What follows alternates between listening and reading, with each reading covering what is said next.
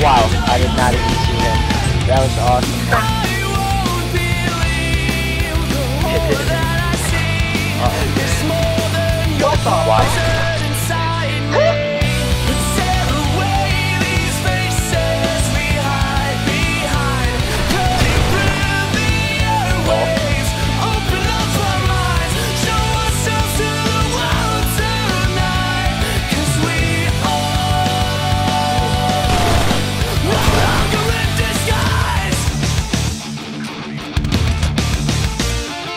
In this, I